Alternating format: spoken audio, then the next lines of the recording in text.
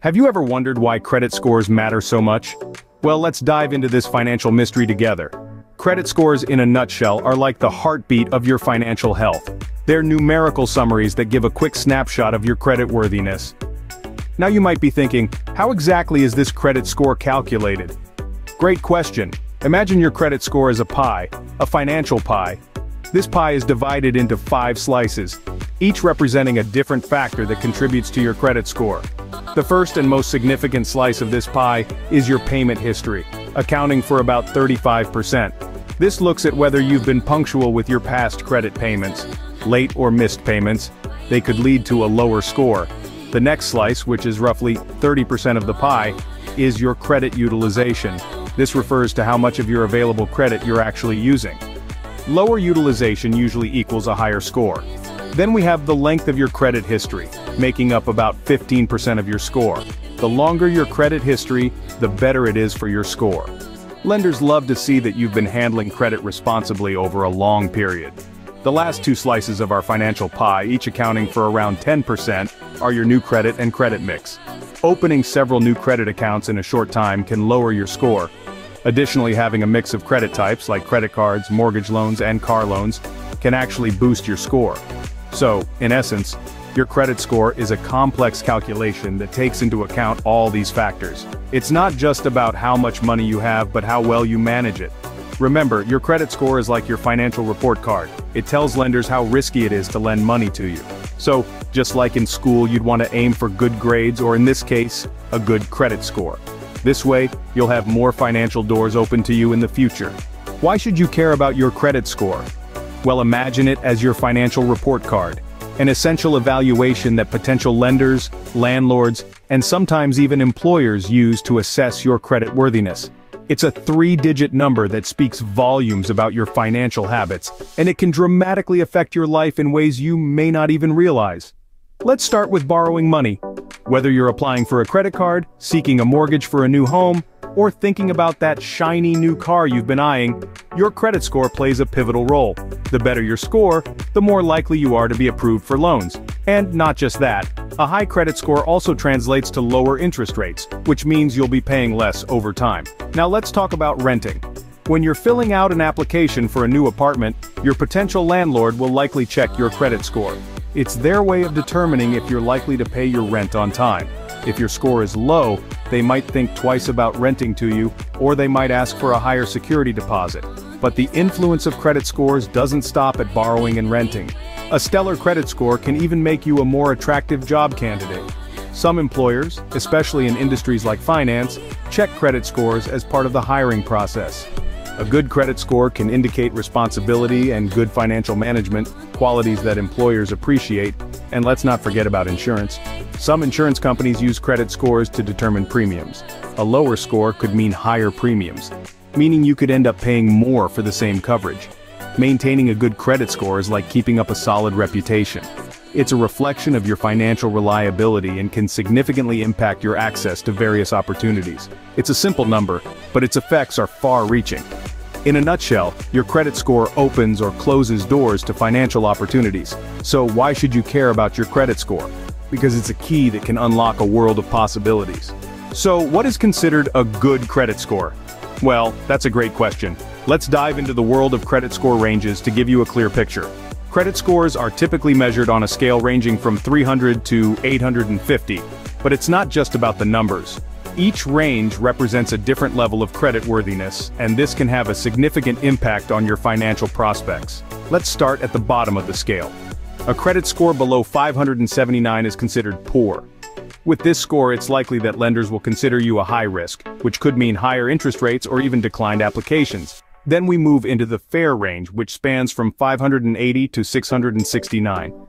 Here, lenders might be more willing to extend credit but you'll still be faced with less than ideal terms. Next up is the good range which is from 670 to 739. If you're in this bracket, you represent a lower risk to lenders. This could translate into better interest rates and more favorable terms on loans and credit cards. The very good range is from 740 to 799. Here you're likely to get even better terms and interest rates. Lenders see you as a very reliable borrower. Finally we have the excellent range. which is anything above 800. This is the holy grail of credit scores. With an excellent score, you're seen as an extremely low risk. You'll likely qualify for the best interest rates and terms available. But remember, these ranges are not set in stone and different lenders may have slightly different interpretations. Nevertheless, they provide a useful guideline for understanding your credit worthiness. Knowing where you stand on the credit score scale is the first step towards improving your financial health.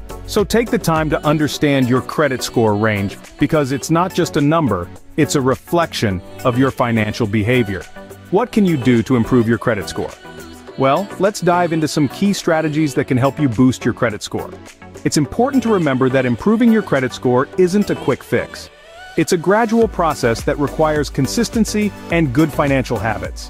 First off, one of the most effective ways to improve your credit score is to ensure timely payments of your bills. Late or missed payments can negatively impact your credit score. So, make it a habit to pay your bills on time, every time. Consider setting up automatic payments or reminders to help you stay on top of your bills.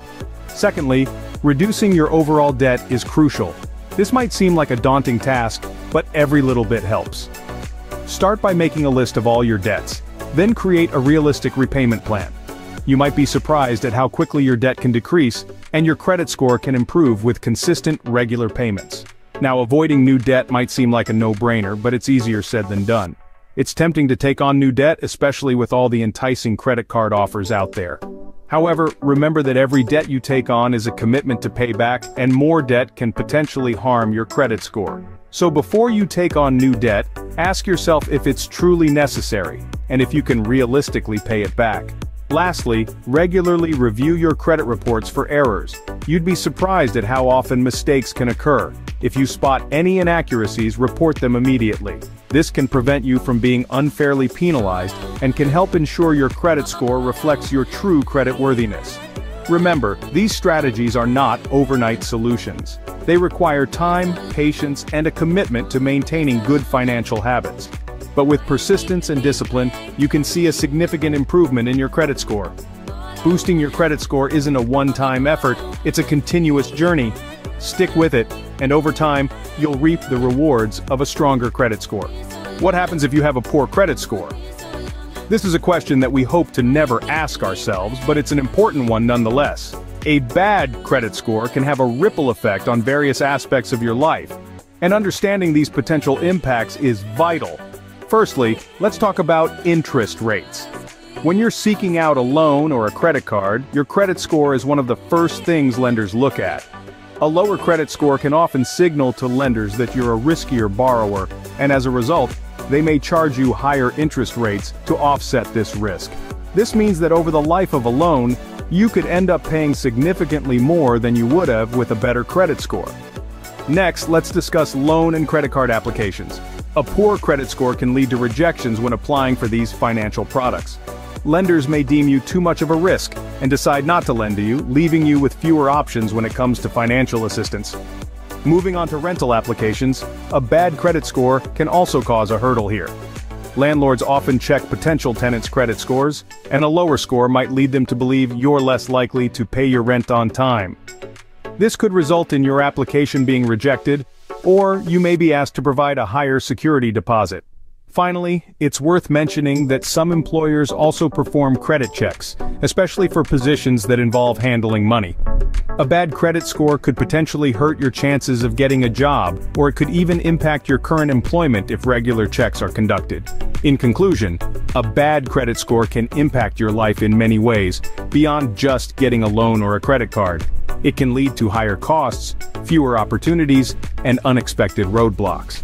A poor credit score can be a financial roadblock, but remember, it's never too late to start rebuilding your credit. If you enjoyed this video, please like, share, and comment. Don't forget to subscribe to the channel and hit the notification bell to keep up with the latest content.